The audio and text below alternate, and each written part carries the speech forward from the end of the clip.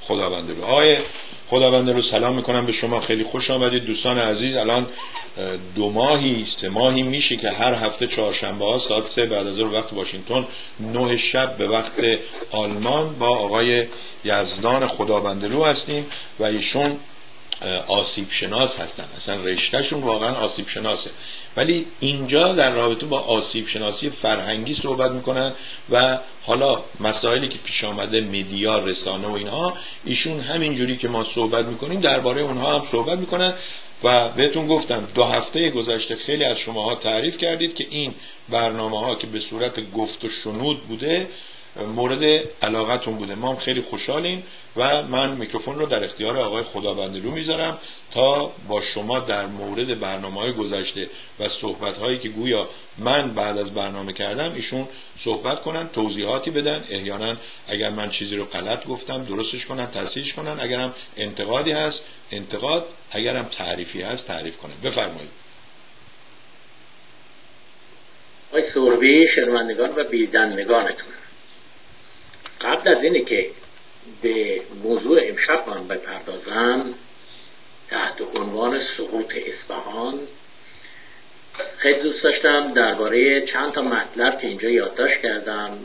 در پیرامون صحبت های شما گفتگو کنیم با هم. بفهم. شما توجه داشته باشید که اون روزهای اول همکاریمون من به شما گفتم که سربی با شما من. آمدم همکاری می‌کنم. به خاطر اینکه می‌بینم یه رسانه یعنی تشکیلاتی درست کردید در به عنوان تلویزیون اینترنتی و در اونجا دعوت می‌کنید هر کسی که حرفی برای گفتن داشته باشه بیاد اینجا برنامه داشته باشه. منم اومدم پیش شما. و تا کنونم هیچ ممنوعیتی برای من از جانب شما صورت نگرفته. و بسیارم حالا تشویق کردید بارها شنیدم که گفتید کار ایشون خیلی سیستماتیکه. چون قبلا متن رو ارسال می‌کنه تصاویر رو ارسال می‌کنه و بعدا میاد پیرامونش صحبت می‌کنه. ولی من گفتم که خیلی خوب. به این موضوع من کاملا واقفم که اگر من متن رو بیام شروع بکنم به صورت مونولوگ یه جانبه فقط بخونم طبیعتا حوصله شنوندگان سر میره.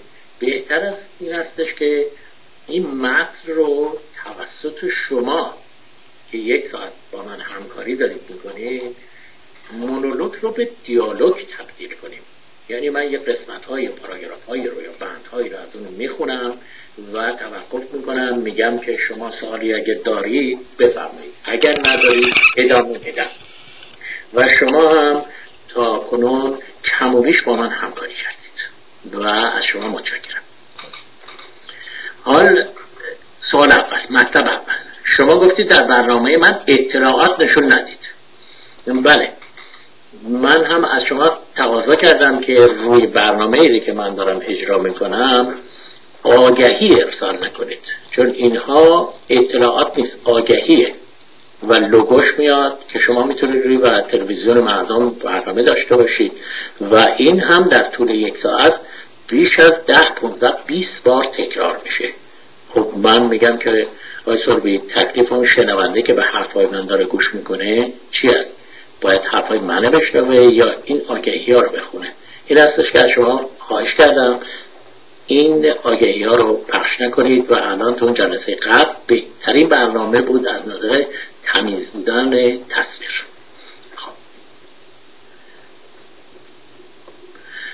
در یه جای شما صحبتاتون گفتین چون آقای یزدان خداوندلو هرچه گفت من باید ساکت باشم.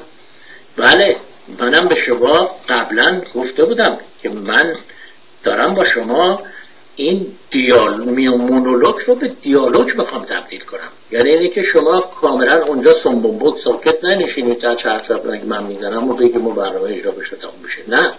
اندیشه های منو به چالش بگیرید. بارها گفتم روی بند بند و انگوش انتقاد بکنید به چالش بگیرید و به این مسئله من وفادار هستم. خب. شما در صحبتاتون گفتید که این دوستان فلسفه فیسبوک رو عوضی برداشت کردن. یعنی معتباره خواستید بگید که شما فلسفه فیسبوک رو در فهمیدید خب بفرمایید فیسبوک رو تعریف کنید که ببینیم چی هست. البته شما یک تعریف لغوی ارائه دادید. گفتید فیس بوک یعنی این صورت و کتابچه. ما میگیم که آلبوم عکس دیگه. اما فیسبوک تعریف دیگه هم داره که من ارائه میدم. فیسبوک شبکه عمومی در ابعاد جهانی شبکه عمومی در ابعاد جهانی که بر اساس سیستم اینترنت یا نانوتکنیک داره فعالیت می‌کنه. حالا اون اینترنت چی هست؟ اینترنت هم یک کلمه مرکبیه متشکل از اینتر و نت. اون اینترش یعنی اینترناسیونال و نتش یعنی شبکه که بر اساس نانوتکنیک این دستاورد معنوی یا مادی درخشان غربه که در اختیار همه ما قرار دادن و ما ازش داریم استفاده می‌کنیم. شما بحثی دارید در این مورد؟ نه من دارم می که بعدا بسیار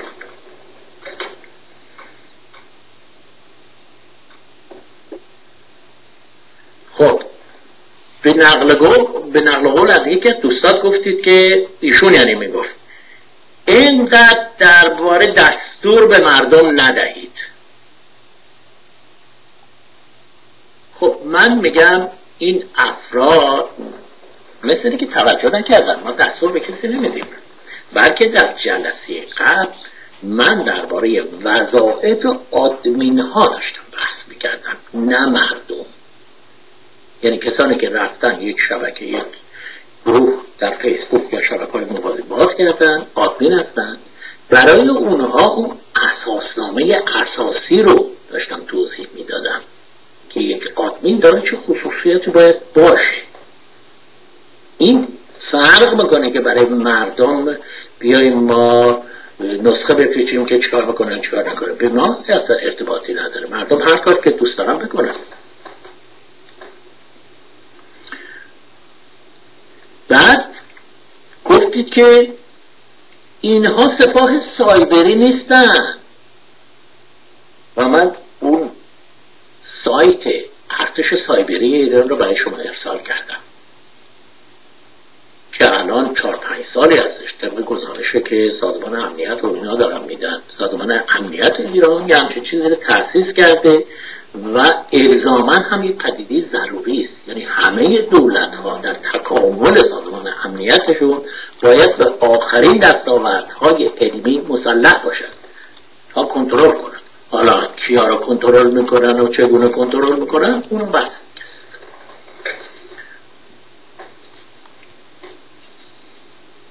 خب درباره راهکار ارائه دادن مثال در مورد دعا. یه صحبتی کردی شما درباره دعا. می‌تونید این دعا رو فلسفهش رو توضیح بدید؟ من یه چیزی خدمت شما بگم. تو برنامه ها چون فلبداهه صحبت می‌کنم. همه اینها یادم نیست. اتفاقا خیلی خوشحالم که تو برنامه قبلی خودم حتی گفتم خانمی که از ترکیه تماس گرفته گفته راجب زرتشتی ها اینو بگو. و من بهش گفتم اینجوری بعد بهش گفتم که شما زنگ بزن پیام بزن من پیامتو پخش کنم. بعد گفتم این دوستان باید به ما یه تیکه از اون صحبتی که شده یا نوشته شده بیان بگم. من اصلا یادم نیست راجع به دعا. تا اونجایی که من می‌دونم دعا به نظر من یه چیز غلطی هست که فلانی دعا می‌کنه. ضرب المثل هم خیلی زیاد راجع بهش ساختن که به دعای گربه سیاه بارون نمیاد. این اون البته ناگفته نماند جدیدن حتی پزشکی ثابت کرده که همین دعاها همین آرزوی خیر داشتن امیدها بعضی از مریضی ها رو به اصطلاح شفا میده بعضی از مریض ها رو قدرت میده. ولی تعریف دیگه ای از دعا ندارم و من حتی تعریف کردم. یک کسی بود ما براش کارهای کامپیوتر می‌کردیم. همیشه می‌گفت که امیدوارم خدا اینجور اونجور. من بهش گفتم که شما به دعا باور داری؟ اگه داری دفعه دیگه به جایی که به من زنگ بزنی به خدا بگو که کامپیوترم درست کن. پس دعا یه چیز بیخود و دروغی است که طرف به قول شما سعی می‌کنه تو آسمون کمک پیدا کنه و الی آخر. بفرمایید. خیلی خوب. ببینید این شاکله دعا این صدا قدمت میشه یا صدای منو دارید؟ نه من صدا رو بستم چون شما گفتید که اونجا یه پژواکی دارید ولی الان صدا رو دارید. بسیار. ببینید مسئله دعا که میاد از خدا که در اون بالا معلوم نیست در کجا هست تقاضا می‌کنه که اون بیمار رو شفا بده.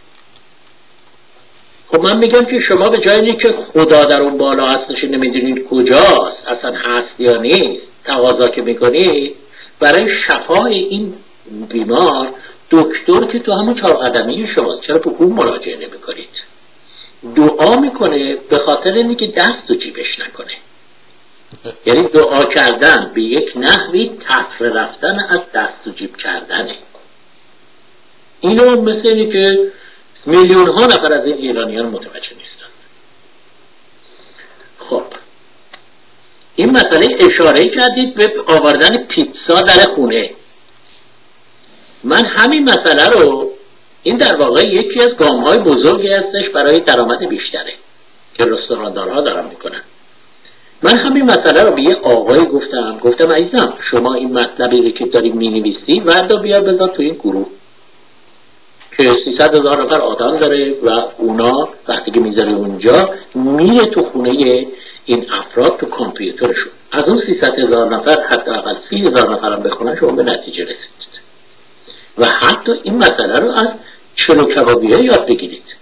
در گذشته وقتی که با قصد شما الان هم همینطور برید توی رستوران غذا بخورید می‌رفتید اونجا طرف میز و صندلی و قاشق و چنگال و سرویس و نور و موزیک و همه چی را میگذاد و موقع حساب کردن همین شنو کبابی رو که الان در خونه شما برای شما داده اونجا به شما میده به اضافه مالیات به اضافه اجاره کنه همه اون رو از شما می‌گیره.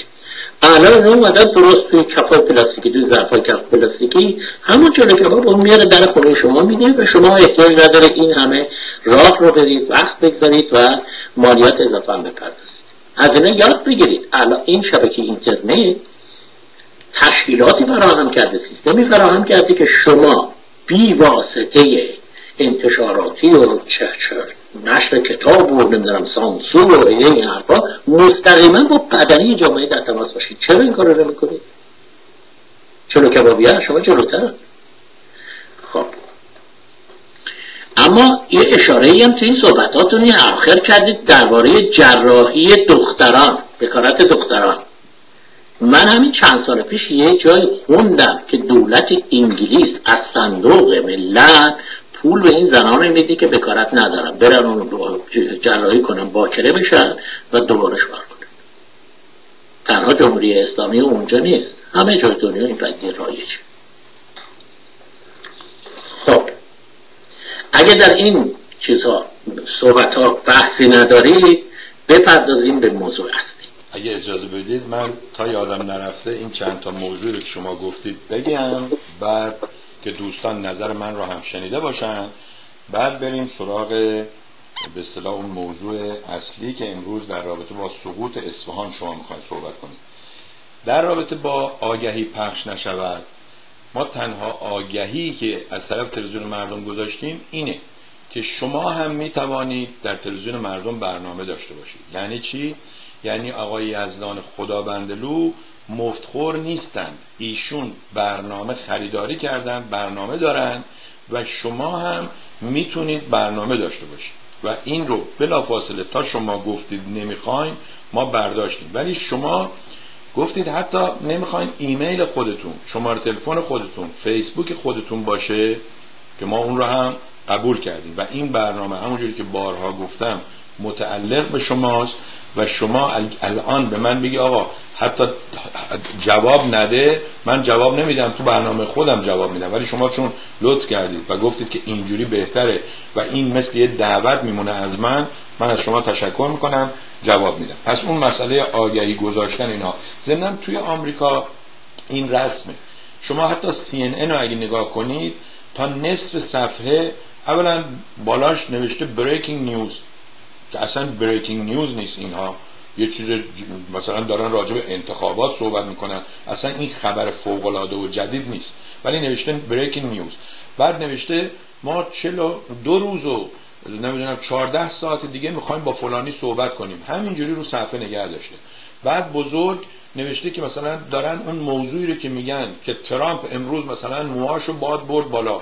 بعد اونه که می‌نویسه هیچی یه خبر دیگه هم اون زیر میاد به صورت تیکر رد میشه که بله مثلا امروز ایران 400 میلیون دلار پول نقد برد. و چون این اینجا رسم شده مردم عادت کردن و ما اگر مثل تلویزیون های قدیم ایران یه عکس رو نشون بدیم فقط یک صفحه یه نفر نشسته باشه یک ساعت اون برنامه اتفاقا اینا میگن برنامه بیروهه حالا اگه شما بگید اینها تون تون پخش می‌شده ده ثانیه کمه و این برنامه رو هر جوری شما بگید انجام می‌دید این برای اون قسمتش. شما در رابطه به چالش کشیدن خیلی خوشحالم که شما به چالش کشیدن رو دوست داشتید مثل آقای سعیدی مثل آقای جمشید شکیبایی. از میدون در نرفتید. من اتفاقا دیروز برای آقای سعیدی نوشتم که آقا این صحبت کردن یک جمعی رو نگه داشتن. واقعا اون که می‌گفتن معلم خوب طفل گریز پا رو به مدرسه میاره. اونه. و الا این که من برم یه عده رو بیارم به زور بشونم اون چیزی که آقای سعیدی می‌خواد شکنجهشون که ما نمی‌خوایم بدیم. چون ایشون میگم من یه حرفای خیلی خوبی می‌زنم شنونده من با... حالا من باید یه دستگاهی بذارم ببینم کی آگاهه کی داناست کی در حد ایشونه کی سرش به بدنش میارزه بیاد بشینه پای صحبت های آقای سعیدی که تازه خودش هنوز نمی‌دونه متریالیسته یا نیست. اینم از به چالش کشتن و ممنونم که این رو به فال نیک گرفتید و صحبت می‌کنید. درباره ارتش سایبری شما درست میگید. من ضمن این که گفتم مشکل اینه که شما ممکنه درست بگید ممکنه شما رو حک کرده باشن ولی ما با تجربه که توی آمریکا داریم الان سالهاست. می‌بینیم آقای شهرام و همایون آقای نمی‌دونم فلان تلویزیون پول ماهیانشون رو نداده به طرف دروغ گفته چهار تا چک بدون امضا فرستاده هی گفته چک تو راه چک تو راه بعد که چک رسیده تازه پول نبوده. سرویسش رو قطع کردن.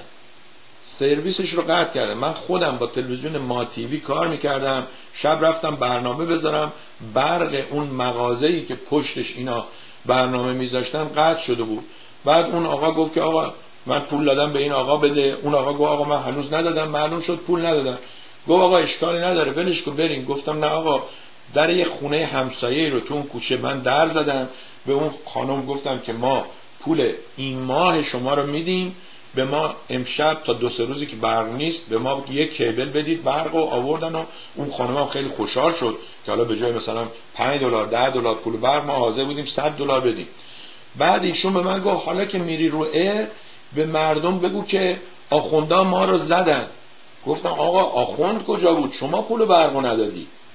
این بود. و ضمنا اون چیزی که شما از ارتش سایبری فرستادید ویکیپیدیا بود. صفحه ویکیپیدیا رو اگر درست مطالعه کنید می‌تونه هر کسی بره هر اطلاعاتی رو بذاره. یعنی من الان برنامه که تموم شد می‌تونم برم بذارم اونجا بنویسم پروفسور یزدان خدابنده‌لو با دکتر سربی امروز صحبت کردم و به این نتیجه رسیدن که یک قطره آب کثیف اگه بریزید تو دریا کثیف میشه. بعد یه نفر می‌تونه بیاد این لینک رو برداره بگه ببین سربی بهت گفتم یه قطره آب اگه بریزیم تو دریا کثیف میشه. اینم ویکیپیدیا. اصلا ویکیپیدیا شما نمی‌تونی بهش استناد کنی ضمن اینکه بله اون چیزی که شما میگید ارتش سایبری دیگه من و شما از آمریکا قوی تر نیستیم. ارتش سایبری ایران به آمریکا حمله کرده گویا به جاهای دیگه حمله کرده. ولی اینکه ببخشید من منظورم شما نیست. اینکه هر ننه قمری ایمیلش خراب میشه پسوردش یادش میره میگه به من حمله کردن منو هک کردن من یه صفحه جدید باز کردم اون حقیقتا داره یک کاری می‌کنه که این آخونده رو چنان بزرگ و قوی می‌کنه و ماها رو ترسو بار میاره این صحبت های من بود ارتش صابری.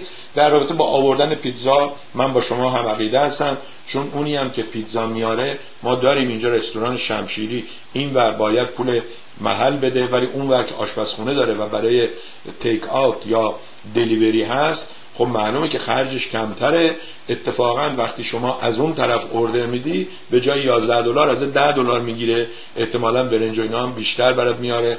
از این لحاظ هم با شما موافق هستم. ولی اینی که شما میگید گروه ها من الان از 6 تا از این گروه هایی که شما لطف کردید من باشون آشنا کردید من جوین کردم عضو شدم استفاده می‌کنم. بله نوشته 48 هزار نفر. 80 هزار نفر. ولی اینجوری نیست که اونی که 300 هزار نفر داره 30 هزار تاش دیده باشه. خود شما و من شاهد این هستیم. خود شما باز توضیح دادید که به نظر می‌رسه آمدن گروه رو باز کردن رفتن حتی هفته ای بار سر نمی‌زنن. اینم این گروه ها ولی همین که شما میگی همین که من میرم می‌ذارم اونجا باعث رونق این کار میشه و به نظر می‌رسه که باز هم دوتامون در یک را داریم قدم برمیداریم. بفرمایید. بله درباره این گروه ها وقتی که شما مطلب که می‌گذارید اونجا توجه داشته باشید که بسیاری میخوننش اما لایک نمی‌کنن. چرا؟ برای اینکه با عقاید من و اندیشه من موافق نیست ولی می‌خونه. و هیچ چیزی هم معلوم نیست. مثلا اگر توی یوتیوب شما برید یه جایی رو باز بکنید که بیایید نگاش بکنید اونجا میندازه که چند نفر بازدید کرده در اینجا نمیندازه. و به بسیاری هم گفتم گفتم اگر که شما مطلب می‌ذارید توی این گروه می‌بینید که مثلا دو نفر فقط اومدن لایک کردن توجه داشته باشیم فقط دو نفر نیست. صدها نفر این رو منتها لایک نمی‌کنه حساست می‌کنه. فقط اون موقعی که شما یه لغزشی که کردی سرکلی نجسش پیدا میشه میاد اونجا نگاه می‌کنه. امروز یه آقایی به من اومده یه ایرادی گرفته. که آقا این کلمه توپل که نوشتید غلط تپل اینطوری نوشته برای من. گفتم عزیزان بین زبان گفتاری و نوشتاری ما تفاوت بسیار هست. آقا معلم شما به جای اینکه این افاظات رو چیز مطالعه بیشتر بکن و از این افاظات هم کمتر. این هستش که بس این آقا رو من نگاه می‌کنم ببینم که چهار سال توی این گروه هست. تا کنون یه دونه مطلب ولی اومده اونجا برای من ایراد گرفته که آره اینو باید اونطوری بنویسی. و بعدم زیرش اضافه کرده سطح سواد تا نوع دیپلم ولی برای ادعا فلان بده این حرفا. منم درجا بگوش کردم خب. حالا بپردازیم به اصل. یه اجازه بدید من این دوستمون آقای محمد حسین نوشته آقای سوربی لینک لینک به حساب مردم تیوی می رود یا برنامه گذار مهمان. من اصلا نمی‌فهمم یعنی چی لینک به حساب مردم تیوی اصلا حساب یعنی چی؟ منظورتون صفحه فیسبوک منظورتون صفحه تلویزیون مردمه؟ باز برمیگردیم دوستان من اینکه بیش از سیزده هزار نفر الان روی تلویزیون صفحه مردم تیوی و هشت هزار نفر این و بیش و پنج هزار تا اونجا توتالش سیزده هزار نفر هستن. من نمی‌دونم بفهمم تو مغز شما چیه. یکم توضیح بدید. ما ببینیم منظورتون چیه. لینک لایک یعنی چی؟ بره حساب این می‌رود یا به حساب اون؟ منظورتون لایک؟ آها لایک. حالا شما بیاین مثلا روی برنامه آقای یزدان خدابنده‌لو یه لایک هم بزنید. آقای خدابنده‌لو Bundesamt آلمان میاد به شما 5 یورو پول میده. من نمی‌فهمم. خب اگه یه برنامه ای رو دوست دارید چه لایک مال من باشه چه به حساب آقای خدابنده‌لو بره. لایک بزنید. لایک یعنی دوست داشتن. ضمناً چون خود منم ایراد می‌گرفتم قبلا می‌گفتم لایک کافی نیست. مثلا یکی نوشته یک بچه ای در ایران تصادف کرد مرد. مردم میمدن لایک می‌زدن. یعنی چی؟ یعنی خوشمون اومد.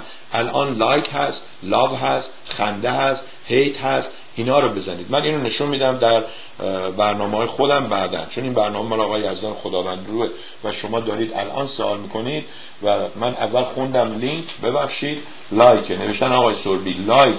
به حساب مردم TV می رود یا برنامه گذار. من اصلا نمی‌دونم برای لایک حسابی هست چی میشه. بفرمایید. خب. موضوع امشب سقوط اصفهان است.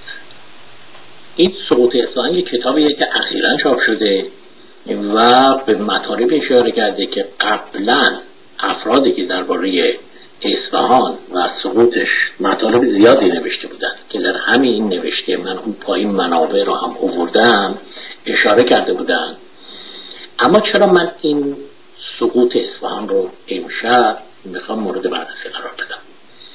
آیا به شما می‌دونید که به کشور ما بعد از چیز که امپراتوری هخامنشی فرو میرزه تهاجم های پیوسته صورت گرفته.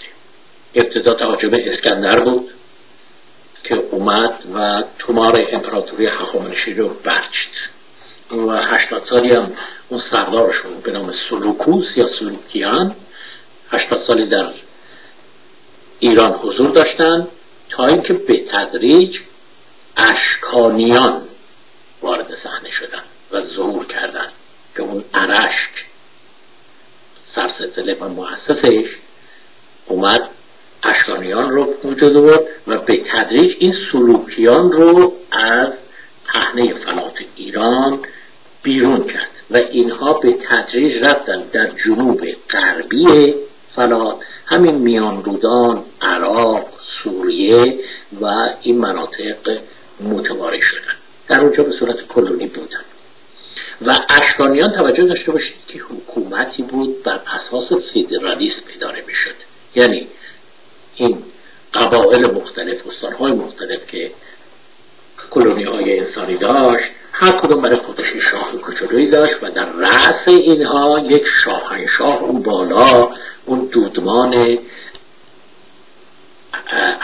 چیز قرار ماتها قرار داشتن که ویشتاسب یا گشتاسب اون دودمانش بود. یعنی حقیقتا حکومت شاهنشاهی اونها بوده. یه عده شاه بودن یه نفرم شاهنشاه.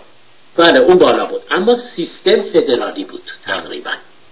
بعدها هخامنشیان ظهور می‌کنن تومار ماتها رو جمع میگن و یک سیستم سنترالی قدرت با حکومت مرکزی مقتدر حاکم میشه و امپراتوری پهناور پیدا گسترش پیدا می‌کنه به 8 میلیون میلیون کیلومتر مربع وسعتش پیدا می‌کنه و سیستمش سنترالی بود.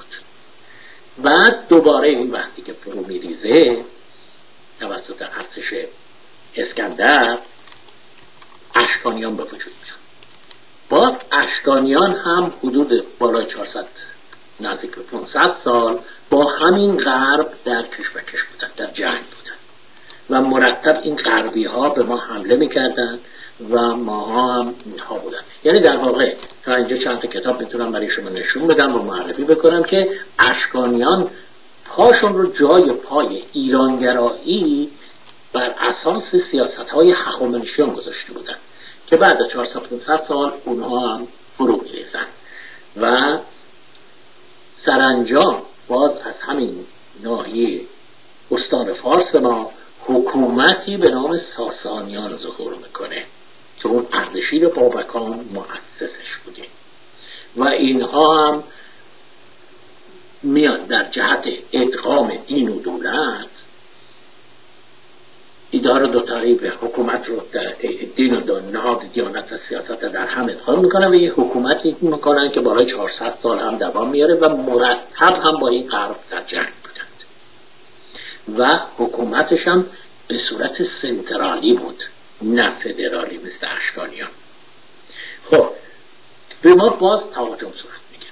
حالا اسمش می‌ذارن تهاجم اعراب. که حکومت ساسانی سرنگون میشه و اعراب میان روی کار بعد از اون باز به ما حمله های بسیار زیادی شده که یکی از این حمله ها مسئله حمله افغان ها به پایتخت ایران هست که در اون زمان در واقع جزوی استانهای ایران بود. اما یک ناحیه و استان لشکری فراهم می‌کنه بلند میشه میاد پایتخت رو مها می‌کنه. حالا من در مقدمه این مطلب یک قسمتی از این کتاب رو که من خوندم چکیدش رو اومردم در اینجا شرایط و اوضاع شهر رو نشون میده که مردم به چه حالتی میافتن و اجازه بدید من این رو شروع می‌کنم به خوندن. سقوط اصفهان. لشکر محمود افغان سال 1136 هجری قمری اصفهان را در ماه اردیبهشت محاصره کرد. بهای مواد غذایی اندکی گران شد و مردم در ماههای تیر و مرداد مجبور شدند از گوشت قاطر اسب و الاغ تغذیه کنند و از آن پس گوشت در بازار نایاب بود. هر شقه گوشت اسب هزار سکه وارد شد. در ماههای شهریور و مهر به خوردن سگ و گربه پرداختند و نسل این حیوان در شهر منقرض شد و در مهر ماه گندم نایاب و در فاصله یک ماه بهای نان دو برابر کردید برگ و پوست درختان را وزن کرده میفروختند. حتی ریشه خشک درختان را نرم و با آرد جو مخلوط و از آن نان درست کردند چرم کفش های کهنه را در آب جوشانده و میخوردند و این خوراک مدتی غذای مردم اصفهان بود. سپس به خوردن گوشت انسان رسید. کوچه ها پر از اجساد مردگان بود و برخی گوشت آن را بریده میبلیدند. حتی گوشت کودکانی که از گرسنگی مرده بودند و در پایتخت چنان بخیم بود که مرده ها را دیگر دفن نمی‌کردند در کوچه ها رها و مردم از کنار اجساد کرم گرفته میگذشتند و تا یک سال آب زاینده رود هم آلوده بود. و امروز که شرح سقوط اصفهان را می‌خوانیم بر ما ناگوار میآید و تعجب آور این که شهری با جمعیتی میلیونی توسط سپاه چهار پنج هزار نفره که البته در اون گزارش ها گفته بودن 18 هزار نفر بودن. چهار پنج هزار نفره متعلق به یکی از استانهای شرقی محاصره و مردم به چنین فلاکتی میافتند. و در این واقعه تنها کاهش جمعیت شهر نبود بلکه منجر به سقوط پایتخت معروف به نصف جهان به علت نادانی و حماقت حکومتی نالایق شد. جمعیت انبوه پایتخت مثل برگ خزان فرو ریختند نه به این علت که سپاهی نیرومند به پایتخت امپراتوری ایران حمله کرده یا اینکه افغانهای پشتون تبار بسیار بدوی و عقب مانده و سپاه محمود چنان نیرومند بود که به سرکردگی فردی ایلاتی و درنده خوب قصد اصفهان کند شهر را محاصره قهدی بر آن حاکم و ساکنانش از میلیون به صد هزار برسد و آن را فتح و بر تخت شاهی بنشید و یا به خاطر ذکافت هوش ذکاوت هوش و جنگندگی افغانها بلکه از بیلیاقتی و انحطاط حکومت صفویان که با تهاجم سپاه افغان به پایتخت امپراتوری سقوط کرد و سلطان حسین مشنگ الله با لشکری از زنان در حرمخانهاش که حتی به امور جنسی آنها نمی‌توانست رسیدگی کند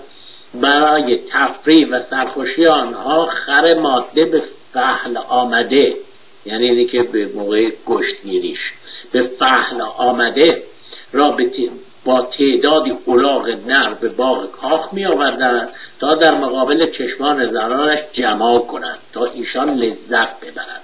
هرچه نامه به والیان خود در استانها نوشت که بیایید و این عرازل را از پیرامون ما پراکنده کنید پاسخ مثبتی از جانب آنها دریافت چون صففیان ترک در مدت 250 سال آنچنان بر تبل شریعت طریقت صوفیگری تصوف عرفان و مزخرفاتی از این دست بر ضد ملت ایران بر ضد ملت و ملیت کوبیدند تا نگاه انسان ایرانی از سرزمین نیاکان برکنده و به پدیده موهوم الله در آسمان جهت امتسازی معطوف و مشغول شد. شما می‌تونید اون تصویر جغرافیایی صف اصل صفویان رو هم نشون بدید چند لحظه؟ بله بله.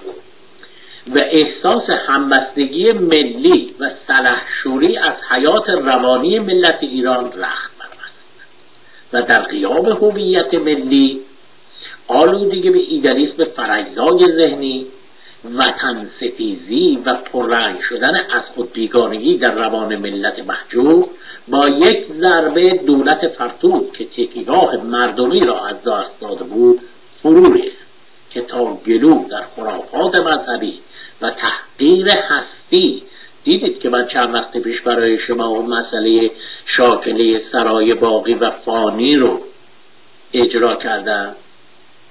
که دنیا رو با تمام ارزشاش ول کرده به شما وعده سرای باقی رو میده. و طبیعی است که انسان وقتی که گرفتاری همچین فلسفه محملی بشه علاقمندی و دلبستگیشو به میهنش از دست میده. فرو رفته تا جلو در خرافات و خرافات مذهبی و تحقیر هستی فرو رفته و مردم از شر آنها از خدا می‌خواستند دستی از آسمان به کمک آنها بیاید که محمود هوتکی این محمود هوتکی اسم واقعی محمود افغانه محمود هوتکی طبق مشیعت الهی ارسال شد و آنها هیچ مقاومتی در برابرش نکردند. آقای صبحی من یه موضوعی رو برای شما تعریف کنم در اینجا. موقعی که جنگنده های عراق میمدن شهر تهران رو محاصره می‌کردن. حتی خود من. و بعضی ها می‌گفتن بذار بیاد بکوبه بزنه. ما از شر اینا خلاص بشیم. من می‌خوام ریشه های این انفعال رو بررسی بکنیم که چرا اینطوریه. چرا ما خودمون توانایی نداریم که با ابلیس درگیر بشیم و انتظار داریم دستی از خارج یا از آسمان بیاد. این بابا رو از سر راه ما برداریم. الان هم رابطه با حمله یا احتمال حمله آمریکا به ایران بعضیا حتی توی اینجا هم یک خانمی که کلیمی هست گفته بود که بابا بذارید بره آمریکا بزنه الان جمعیت ایران شده هفتاد هفت میلیون. گیرم که هفت میلیون هم کشته بشن هفتاد میلیون داریم میشه دو برابر جمعیت زمان شاه. یعنی الان هم افرادی هستن که خودشون چون ارزه و همت و بخاری ندارن منتظرن که آمریکا بره بزنه ایران و وقت اینها فکر می‌کنن بعد آمریکا میاد ایران میده دست اینها. بله دیدی چند وقت پیش همین مسئله آمریکا بیا از آمریکا دعوت می‌کردن که بیاد اینو بزنه و انتظار داشتن که اون بیاد بزنه و بعد کشور ایران رو بده به دست اونا. نمی‌دونستن که همچین سرنوشتی دچار میشیم عرب وقتی که اومدن ساسانی ها رو به استعداد زدن کشور رو دادن به دست ما. نه و تمام هستی ما تجاوز کردن. حالا همین مسئله چیز افغان رو که من دارم مطرح می‌کنم به خاطر این هستش که انبوهی سند در اختیار ما دربارش داریم. و ما چرا این در افق نگاه مفسرین ما قرار نمی‌گیره که این رو که سند در اختیار داریم مورد بررسی قرار بدن و نشون بدن که این انفعال روحی و روانی ما در کجا چگونه استش که ما خودمون توانایی نداریم که با ابلیس داخلی درگیر بشیم. و بعد از دیگران انتظار داریم که بیاد ما رو مثلا ببینی از شر دشمن خلاص بکنه. به آمریکا می‌خواستم بگن که آمریکا بیا آمریکا بیاد اینا رو بزنه و بعد چی بشه؟ آمریکا بعد ولتون می‌کنه. من می‌خوام ببینم که این حالت روحی و روانی از کجا میاد. چرا اینطوری هست؟ اینو باید ما مورد بررسی قرار بدیم.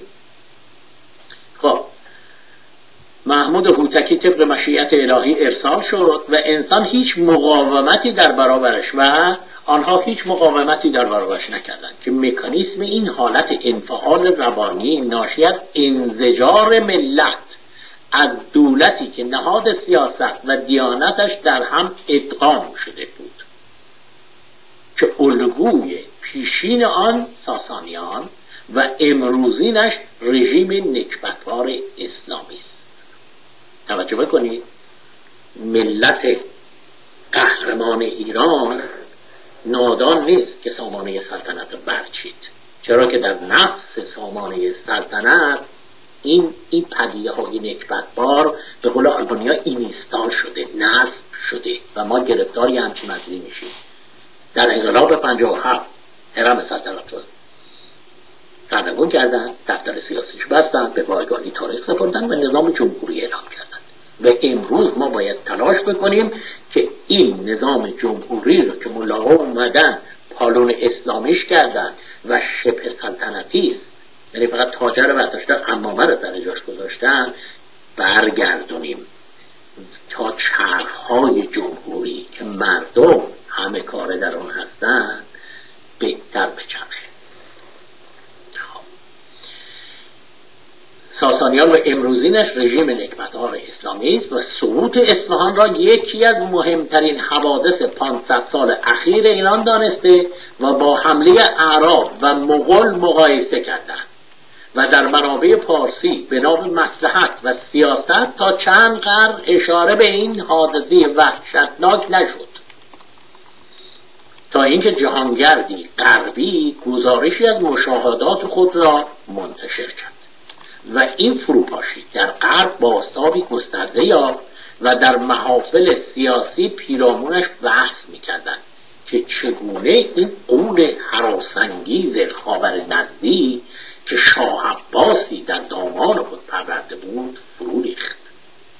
در همین باره خواندن کتاب سقوط اصفهان را به دوستان توصیه می‌کنم. این بخش اول. شما یا سوالی پرسشی در این زمینه دارید اجازه بدین من یک عذرخواهی کنم. از این دوستمون آقای محمد حسین ایشون گفتن که اولا ببخشید که مثلا به جای لایک وقتی می‌زنن می‌نویسه لیک. وقت من اینجا می‌خونم لینک. خب این فارسی رو که می‌خوایم بنویسیم معلومه دیگه. تایپ می‌کنیم اینجوری اشتباه میشه. نوشتن که منظورم این است که لایک من به نشانه علاقه علاقمندی به شماست یا مهمان شما. چون مهمان شما از نظر موضوع و از نظر شخصیت مرا جلب نکرده. ضمنا همه چیز به پول و مادیات ختم نمی شود. علاقه من به خود شما و تلویزیون شما باعث ادامه تماشایم شده. ضمنا از اشتباهات دیکتری و دستوری عذر می‌خوام. بذارید من یه توضیح کوچیک بدم. من حقیقتش نمی‌دونم. این گفتم بهتون فیسبوک دو تا بچه جوان اینو درست کردن. شاید روزی که اینو درست کردن اصلا به این فکر نبودن که یه سری افرادی مثل من و شما بالای 60 70 50 میشینیم می‌خوام از استفاده کنیم. بعد اونا اگه نگاه کنی توی دنیای دیگه هستن دوست عزیز من. اونا مثلا یه عکس طرف میفرسه زبونش رو در ورده ببخشید حالش به هم خورده داره استفراغ می‌کنه دوستش زیرش مینیسه cool. حالا این cool شما می‌خواد بگی یعنی time خوبی داشتن OK. اون یکی می‌خواد بگی از حالت حالش به هم خورده ناراحت شده.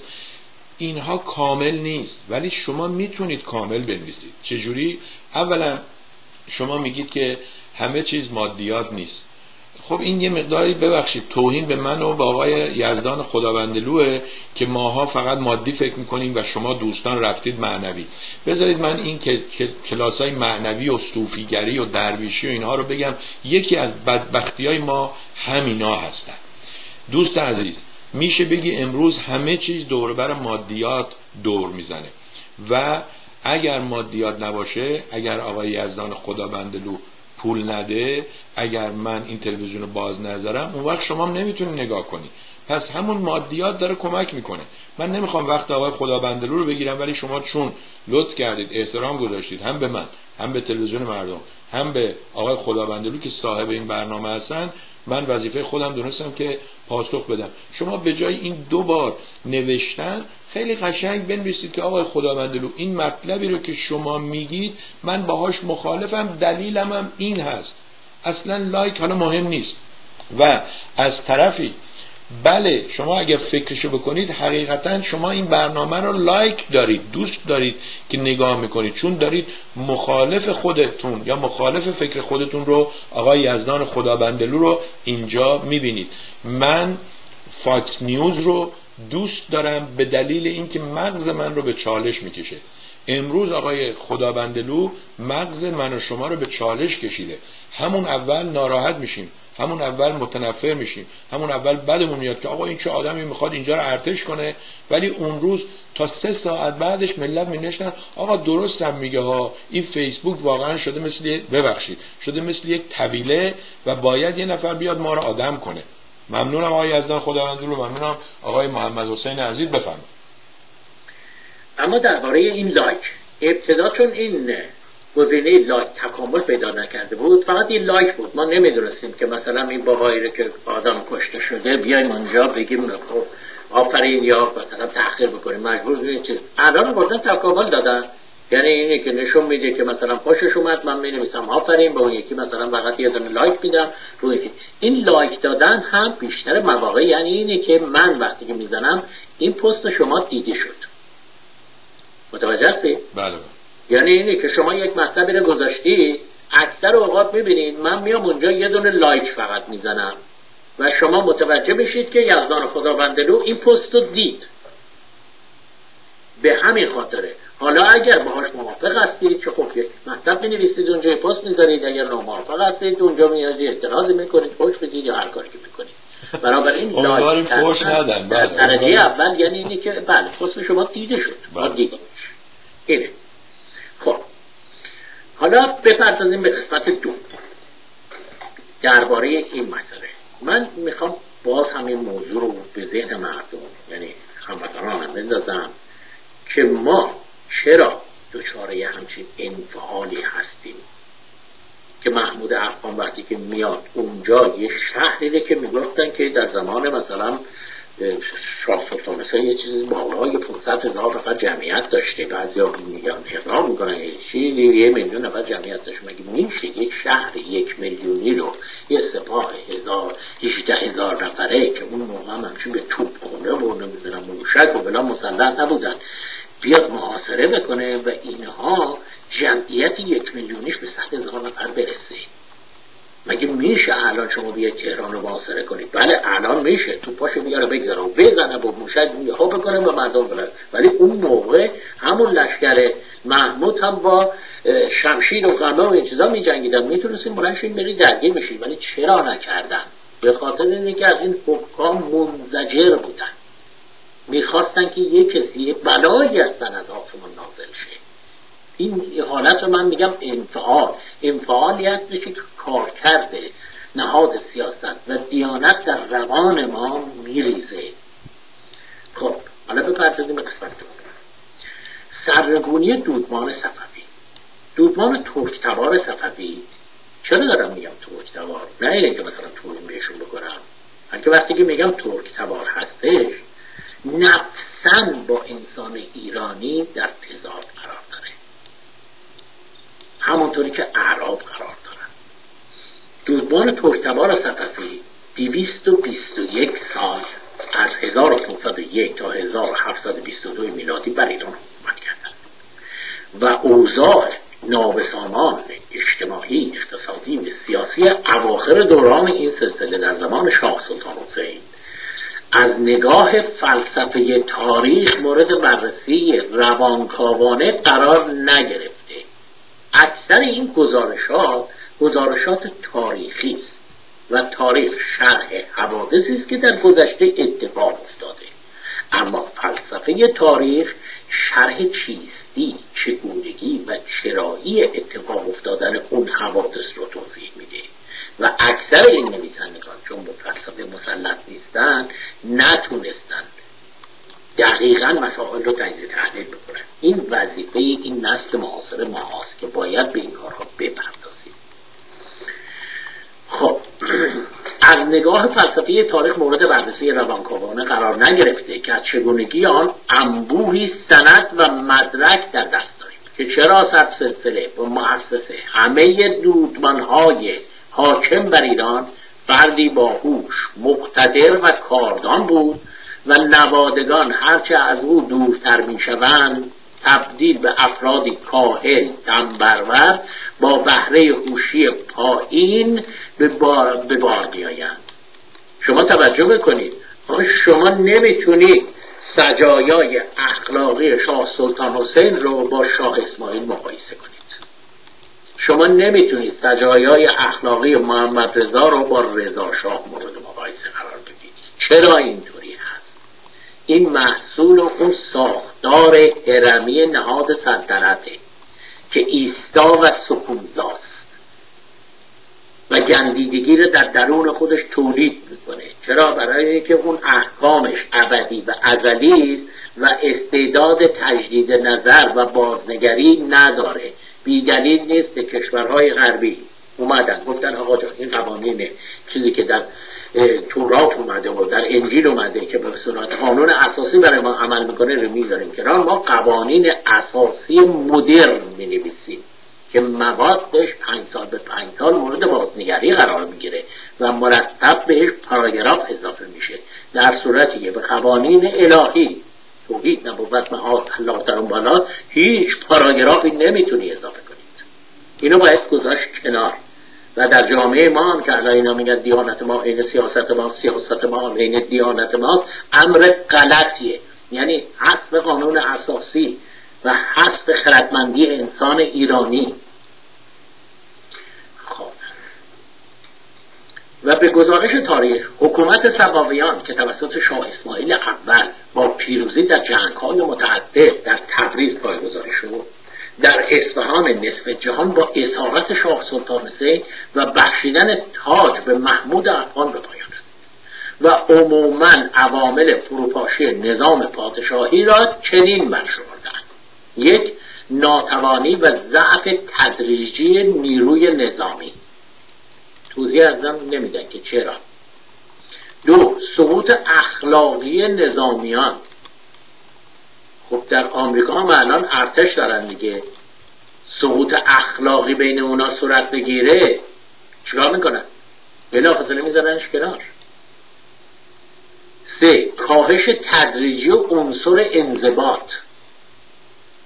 چهار دشمنی و حسد میان سران قدیم و جدید سپاه که در طول حاکمیت این سلسله به وجود آمد. البته دلایل بسیار زیادی هم براش بیان کردن. پنج بی اعتبار شدن وحدت میان پادشاهی و مذهب. توجه می‌کنید به این فاکتور بله. یعنی اینه که دولت صفوی نهاد دیانت و سیاستش در هم ادغام شده بود. همین ادغام در ساسانیان صورت گرفت. همین ادغام نهاد دین و دولت در هخامنشیان صورت گرفت که باعث فروریزی شد. چرا که این دیوارهای طبقات رو چنان نفوذ ناپذیر کرده بودند که هیچ کس از طبقه متوسط جامعه نمی‌تونست به طبقات بادا صعود کنه. فقط همین اشکال آخوندام هست الان. میگم همین سیاست آخوندام هست دیگه اشکالشون هست الان. بله دیگه مثلا خوردی و خود غیر خودی ملت ایران رو یه تعدادی آقا داده ها خودشون رو خودی می‌دونن بقیه رو غیر خودی خب این مسئله از کجا میاد؟ در ساختار این نظامش هست. بدون توجه به اینه که منی که ایرانی هستم هزار بار از اونها نسبت به وطنم وفادارتر هستم. و حتی حاضر نیستم که یک وجب از خاک ایران دید بشه. و حالا تازگی ها محمد رضا این رضا پهلوی هم داره اینا رو میگه. جهان می‌کنه. خب. شش. چقدر دیگه وقت داریم آقا؟ الان سه و پنجاه و پنج دقیقه است. می‌تونید ده دقیقه هفت دقیقه, ده دقیقه مثلا. اجازه می‌دید من فقط یه چیز دیگه بگم. باز تشکر از محمد حسین. نمی‌دونم که تنه می‌زنه یا حقیقت میگه. حتی اگر به تنه میگه من ازش ممنونم. نوشته که از شما و آقای خداوندلو متشکرم. حالا معنی لایک را فهمیدم و باز هم متشکرم. بذارید من اینو اضافه کنم. باز هم توضیحی که من امروز میدم یا برداشتی که آقای خداوندلو داره از لایک. دوست عزیز ممکنه اون برداشت یا معنی که اونی که درستش کرده نیست. بهتونم گفتم. دلیلش اینه که اون آقا یه آقای 24 ساله بود که چند سال پیش این رو درست کرد. الان میلیاردر شده و اصل اصل ماهیت فیسبوک عوض شد. از اون چیزی که قرار بود بین دوستان یه دانشگاه یه مدرسه باشه الان عوض شد و آقای با خداوندلو. به زیبایی توضیح دادن که شد هم اینترنشنال هم نت اینجا نت معنی تور میده مثل یک توری روی دنیا رو پوشونده و گرفته و من و شما هیچ چاره ای نداریم جز با این تغییرات کار کنیم عوض کنیم و اگر تغییر نکنیم میمونیم مثل اونهایی که میگن من همه چی رو بلدم یاد نمی‌گیرم. ولی استفاده کنید. شما لایک رو بزنید اون علامت لاو رو بزنید اون علامت عصبانیت رو بزنید و امیدوارم به قول آقای خداوندلو یه روزی هم یه چیزای دیگه اضافه کنه که من این ویدیو رو دیدم ولی خوشم نیامد. من این ویدیو رو دیدم و پسندیدم. یا اینقدر صد درصد خوشم اومد و الی آخر. با فیسبوک تماس بگیرید. به هر زبونی که هستید تو هر کشوری اونها اون کارا رو هی انجام میدن.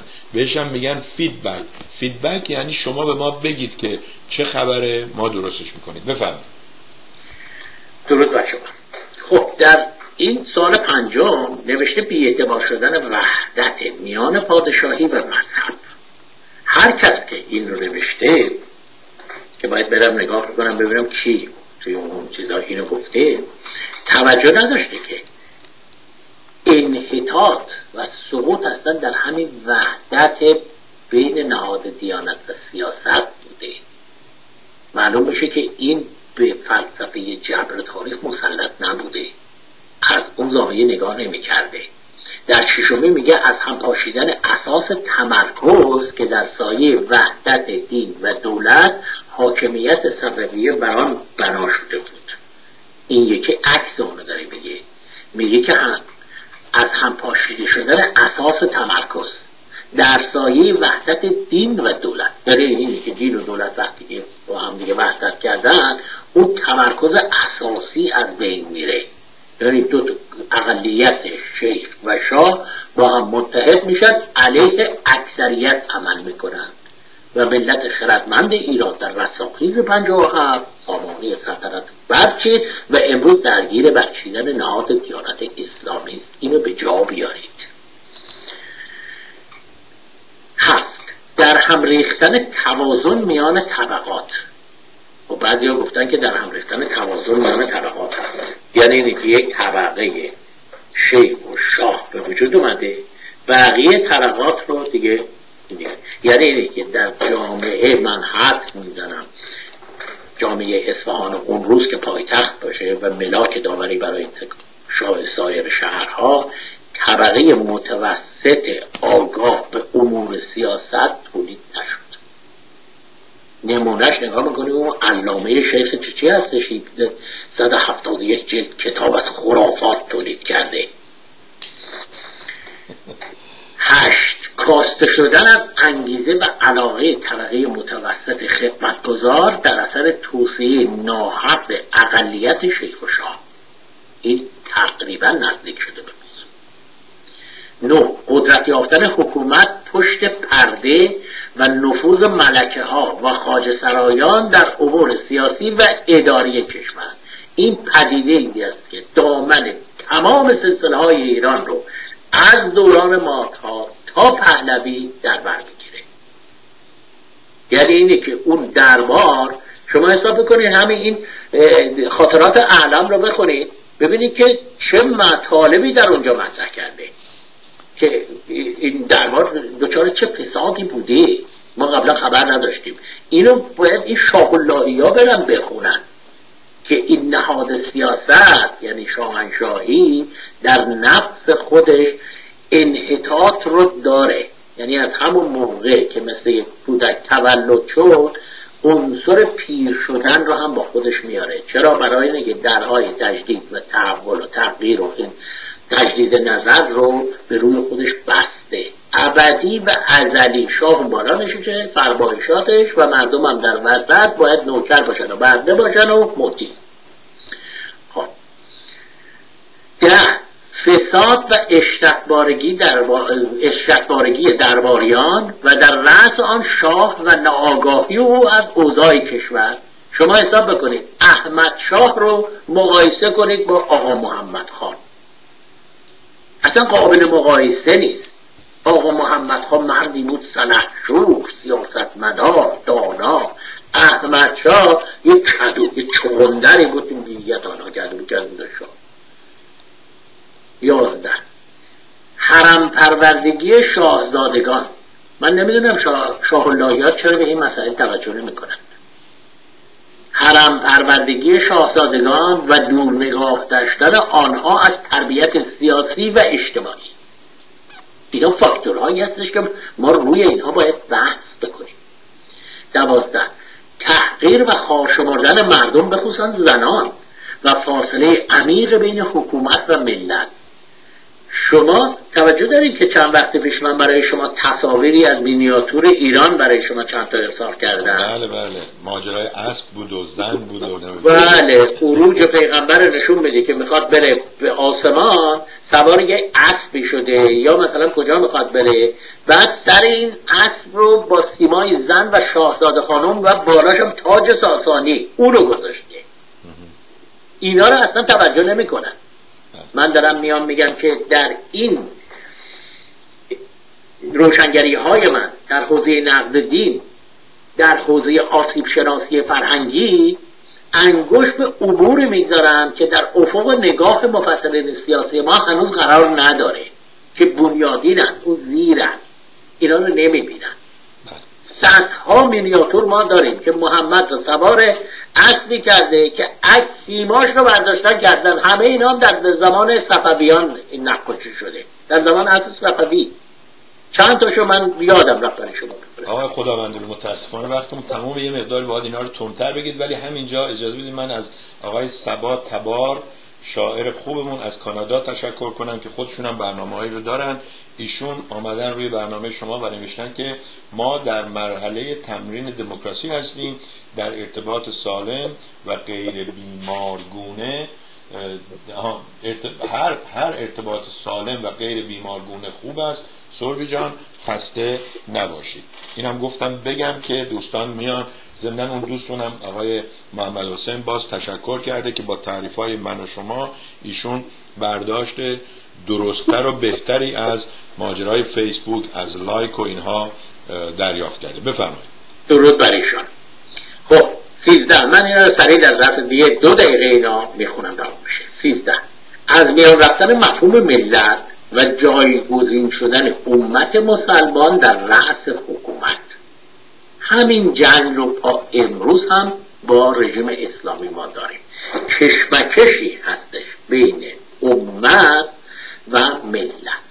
حالا اون بخش اصلاح طلبی این نظام بر مبنای جمهوریته یه بخش دیگر اصولگراییش بر اساس امت این کشمکش در ایران الان جاریه به حادترین حالتش. خب. چهارده تزلزل در سیاست خارجی که ازبک ها از شرق و عثمانی ها از غرب ایران را مورد تاخت و تاز قرار داده بودند که شاه صفی در سال 1048 هجری قمری بغداد را به عثمان ها واگذار کرد. که پیش از آن قندهار به دست شاه جهان امپراتور مغولی هند از دست رفته بود.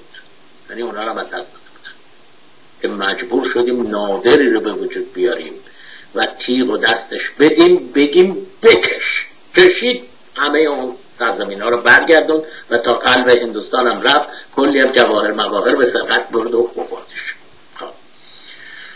بغداد به عثمان ها واگذار کرد که پیش از آن اقتدار قندهار به دست شاه جهان امپراتور مغولی هند از دست رفته بود. دلیل این شکست ها این بود که فرماندهان لایق و کارآزموده نظامی صفوی به دلیل بدگمانی های شاه صفی به آنان کشته شده بودند.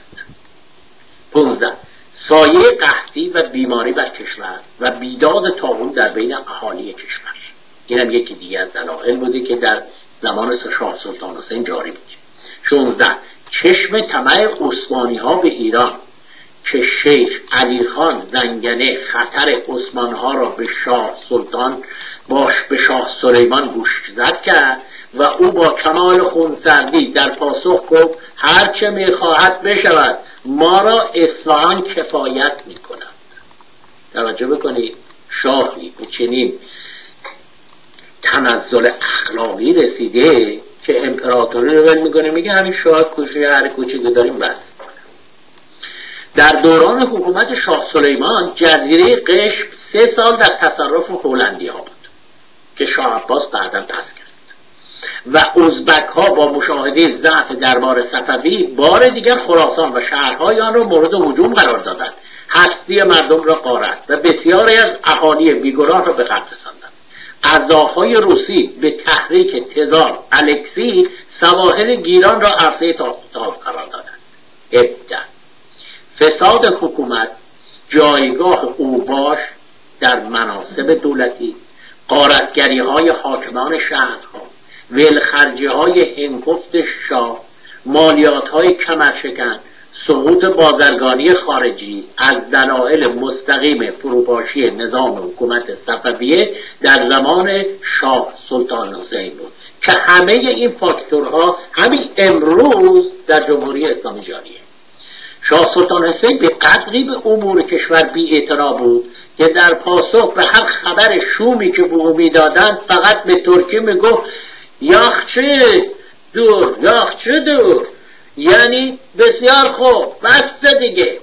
یاخچه دور که اینطوری بگن و در نخستین حمله محمود افغان به ایران در سال 1134 هجری قمری کرمان میدان تاخت و تاز او قرار گرفت.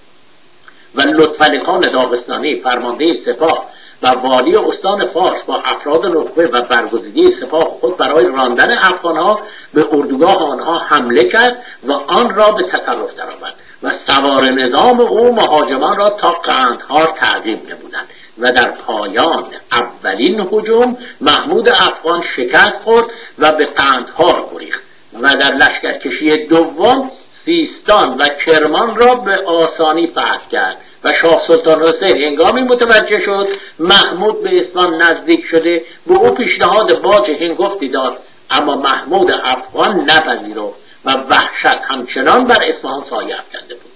و صاحب منصبان شاه بر سر چگونگی دفاع از اصفهان با هم اختلاف نظر داشتند و سلطان حسین فرمانهای خطاب به سرداران و حکام برخی ولایت فرستاد و تأکید کرد که با سپاهیان تحت فرمان خود هرچه زودتر در پایتخت حاضر شوند. اما جمعی سرداران که در نواحی فارس و آذربایجان بودند هنگامی که نزدیک اصفهان رسیدند و چشمانشان به افغانها افتاد راه فرار پیش گرفته و هر یک به سمت ولایت خود گریختند و سرانجام دو سپاه روبروی هم قرار گرفتند یعنی سپاه شاه و افغان آقای خداوند رو همینجا باید برنامه رو پایان برسونیم ولی قبل از اون اجازه بدین سوالی رو که آقای سبات تبار از شما کرده بپرسم. شاید خود این تاپیک یا موضوعی باشه برای برنامه آینده. ایشون پرسیدن که تاریخ عالی اما نازنین بیا امروز بگو چه باید کرد و خود شما کجای